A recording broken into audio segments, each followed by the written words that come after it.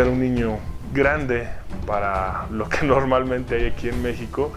Tenía 10 años cuando logro convencer a mi papá que me lleve.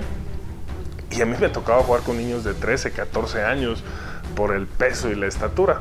Y dice mi papá, ¿sabes qué? No puedo hacer esto. La diferencia de tú estar en primaria y los demás niños en secundaria pues es mucha. No creo que sea el momento. Te esperas hasta preparatoria para que tú puedas jugar fútbol americano.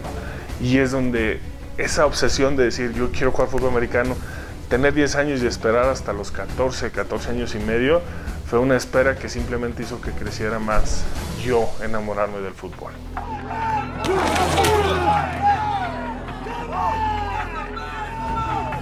Se acerca este, un profesor, en ese momento yo pensé que era el profesor, y simplemente me dice, tú vas a jugar fútbol americano, te espero mañana a las 5 de la tarde, te traes cortos, playera y tenis, que vas a empezar a entrenar fútbol americano. Yo no pregunté nada y dije, sí, profe. Dijo, no soy profe. A mí me vas a decir coach. Dije, ah, perfecto, coach. A las 5 de la tarde y así es como empieza la historia. El coach que se me acercó es, eh, que en paz descanse, el coach Edgardo Sánchez, que fue el head coach de, la preparatoria 2 durante muchos años y fue el que me inició en este camino de fútbol americano y en la prepa 2. Tenía 14 años, ya medía arribita del 1.80. Este, y empiezo como liniero ofensivo, obviamente por el tamaño, el peso, la estatura. El coach dice, pues vas con la línea ofensiva. En la preparatoria, gracias a Dios, logro tres campeonatos. Y uno más con esta categoría de representativo de Tigres Juvenil, que realmente, bueno, a la preparatoria conseguir casi cuatro campeonatos, pues fue algo muy bueno para mí. Mi experiencia en mis primeras temporadas, ser campeón, bueno, de, las mejores experiencias.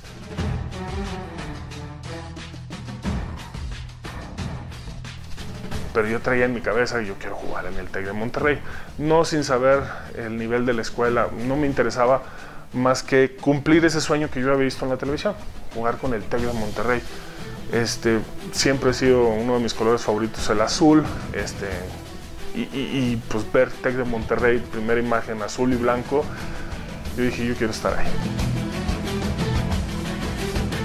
Yo estoy desde el año 2001, logré un campeonato de intermedia este, y a partir del 2002 al 2006 estoy en el, ya en la categoría mayor, donde logro este campeonato en intermedia y cuatro campeonatos en Liga Mayor, cuatro campeonatos nacionales.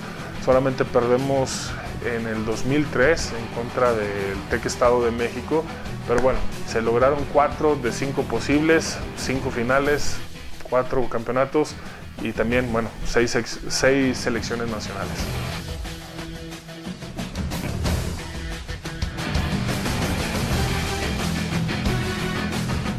¡Tenemos que estar juntos! ¡Tiene que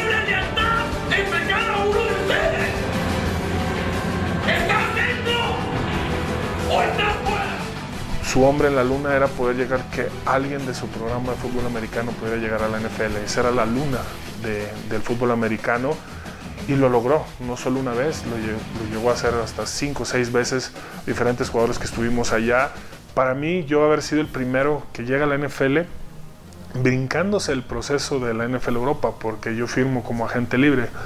Mis otros compañeros, como Rolando, fue a través de la NFL Europa, él fue el primero en lograr jugar con los Cardenales de Arizona y yo haberlo logrado brincándome ese proceso de, de NFL Europa, pues fue algo increíble.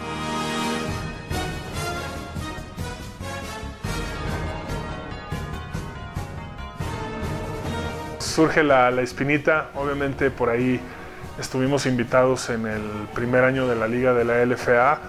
Por una lesión que tuve en el tendón de Aquiles no la pude jugar en su primer año.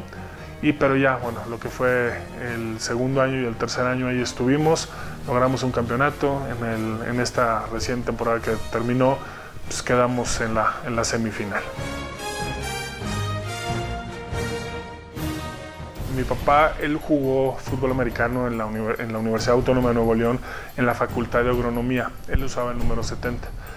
Pero cuando yo llego ya al TEC de Monterrey, el 70 estaba ocupado, pero alguien me, había comentado, ¿Y por qué no creas tu propia historia, tu propio número?